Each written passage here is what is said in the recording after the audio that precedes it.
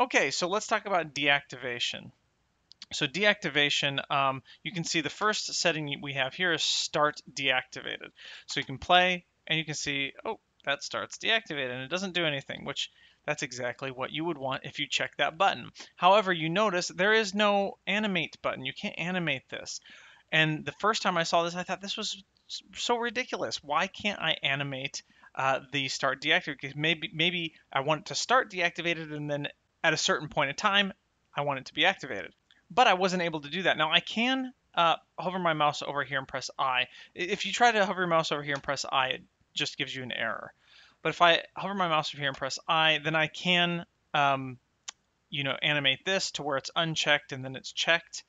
Uh, or I, I guess it would be start deactivated, so it would have to be checked first and then unchecked, and then you can add another keyframe.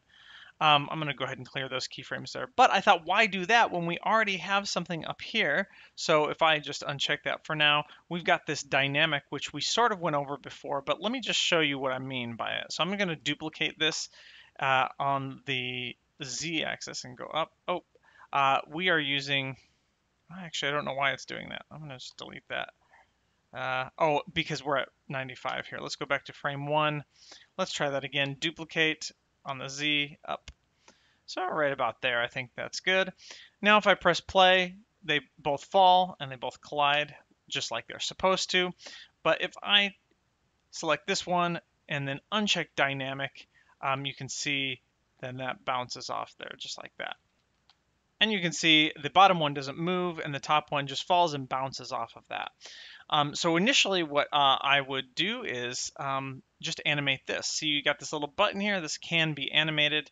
Uh, so I would just go all the way to um, right before it touches. So let's uh, zoom in here. So up until here, we want it to be deactivated. So I'm just going to go ahead and leave that unchecked and then animate the property by clicking that button and then just go one frame forward. Uh, well, let's bake that cache in here again.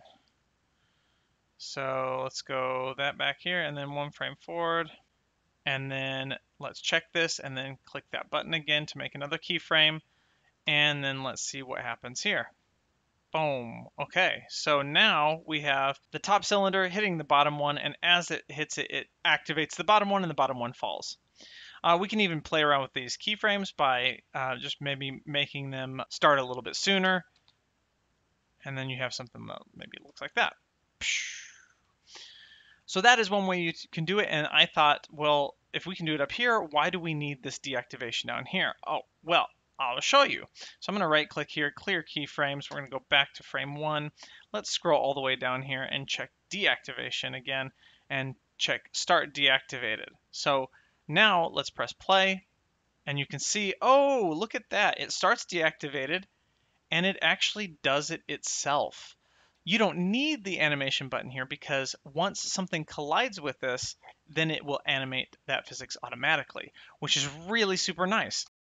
And now I don't have to worry about uh, animating that property if I wanted it to come in a little bit earlier, a little bit later, or just, uh, you know, just go based on um, the distance between the objects. So it will act accordingly like that. So that is pretty cool. I really like that.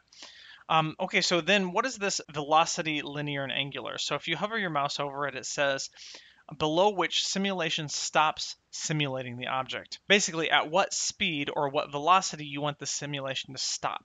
So that means higher values here means the simulation is going to stop sooner.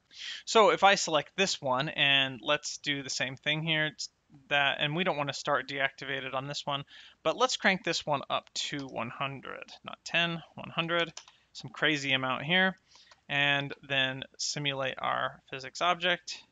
And then I'm also going to crank up the angular velocity as well, uh, both to 100 feet per second. So let's see what happens there. You can see, all right, our physics stopped. Our simulation for this one stopped at a really weird angle. And that's because it slowed down for both the movement, the linear and the angular velocity. Uh, below, it fell below 100 feet per second. So let's just do something crazy again here just to demonstrate that. 200 feet per second. Let's see uh, what that looks like. All right, and so it stops sooner. And you can stop it even sooner. Let's say 500 feet per second. I don't know how it's gonna. Yep, there you go. So um, it's and that actually may not be. Let's uh, if you ever want to like refresh your cache down here uh, for the physics or just if something's not working right, um, just go ahead and start changing something like move it or pretend like you're going to move it and then right click uh, to cancel that and then try that again. Um, and then sh it should clear that cache down there. Um, definitely if you move something, and you can see, and if I click uh, off on the uh, one object to the other, now you can see that's this is yellow. That means this cache is out of date. Um, so once you run the simulation, it's going to start the cache over. linear and angular velocity deactivation will also help with jitter. So you can see um, when we, uh, let's just, um, let's just uh, start that one deactivated and just focus on this one here. So if we just come here and make sure that that's unchecked and then play our animation. All right, so now here you can see it's kind of flickering it's because it's jittering. So um, we got a bit of a jitter right here. But if we crank this up, oh, let's just do 10 and 10. I think that'll be enough. Um, that's when we stop the simulation. So simulation is coming here, and we're doing good, and then it rolls and it starts here, and then it's you can see it's flickering, but then it stops right here. So our cache is till 250, but uh, it deactivates right about here because you can see it's no longer flickering, it's no longer jittering, it's slowed down enough to where the velocity is less than 10 feet per second. So that's a good thing to remember if you have resting objects that are supposed to be resting but they're jittering.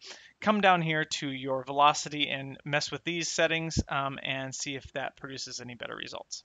All right, so we got a few more settings to go over before we start multiplying this by a thousand to make a thousand of these fall into a pile. So stay tuned and you'll see me over there.